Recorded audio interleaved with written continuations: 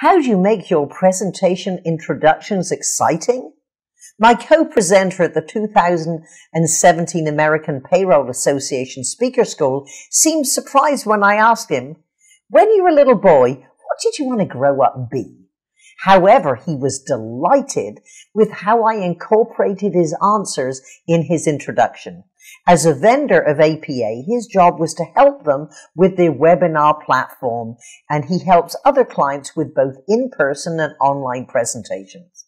As a long-time speaker and presentation coach for APA, I help their members and speakers improve their in-person speaking skills.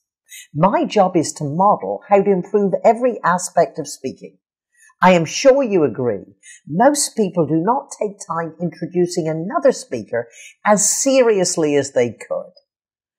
Hope you can take the question I asked Sean next time you have an introduction to make.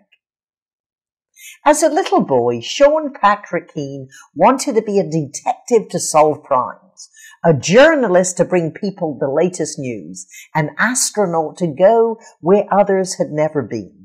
As the director of sales engineer for INXPO, the next generation of digital broadcast solutions, he provides in-person help for speakers, eliminates boring presentations with his webinars, brings his audiences and latest information about their subjects, and helps them take their listeners to new places in learning.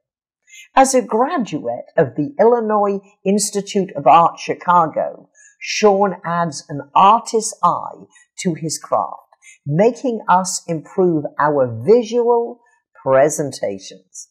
Please welcome our guest presenter, Sean Patrick Keane. Try this question the next time you have an introduction.